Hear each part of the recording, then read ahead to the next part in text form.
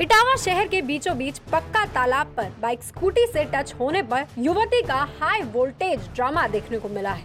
युवती ने बाइक सवार युवक का मोबाइल छीनकर तोड़ दिया। अब इस घटना का वीडियो वायरल हो रहा है। युवक ने बताया, हमने माफ़ी भी मांगी, इसके बाद भी उस लड़की ने मेरा फ़ोन तोड़ दिया। सोचिए, अगर यही काम लड़के द्वारा किया गया होता तो शायद एक बड़ा बवाल खड़ा हो गया होता। लड़की ने बदतमीजी भरे लहजे में युवक से बात की और उसका मोबाइल ज़मीन पर पटक दिया। लड़की की बदसलूकी के बावजूद भी लड़का शांत खड़ा रहा।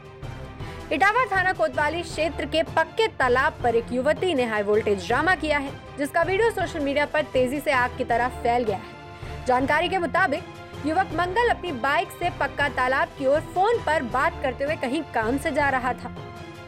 तभी सामने से आ रही एक युवती की स्कूटी से युवक की बाइक टच हो गई, जिसके बाद युवती ने अपनी स्कूटी रोककर युवक का मोबाइल छीना और ज़मीन पर पटक दिया, जिसका वीडियो सोशल मीडिया पर आया है और लोग इसको लेकर प्रतिक्रियाएँ दे रहे हैं।